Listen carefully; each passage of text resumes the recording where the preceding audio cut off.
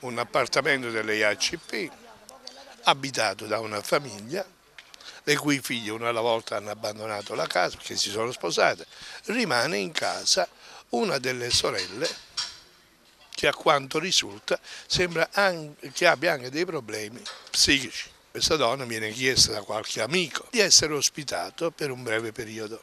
La donna accetta, ospita questo, questo nucleo familiare che dopo qualche tempo che cosa fa? A quanto ci è stato detto, approfittano di questa donna che ha problemi psichici, le danno del denaro e la mettono ad abitare in una casupola in un paese viciniore. Tenim una sorella che purtroppo è una portatore di handicap, è malata, non sta bene nemmeno mentalmente. In continuazione abbiamo più ospitale perché viene ricoverata in continuazione a Sarno, teniamo tutte le carte dichiarate. Tenono un diabete, malato mentale, è proprio fisicamente che non sta bene. Questa sorella hanno, abitata in questa è casa. abita qua in questa casa da 45 anni.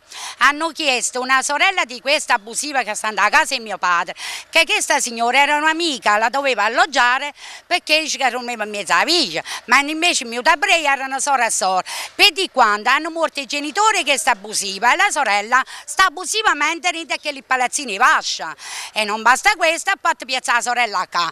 Mio padre da otto figli, non nova. Mia sorella ha diritto a avere questa casa perché mio padre c'è rimasto essa rinde.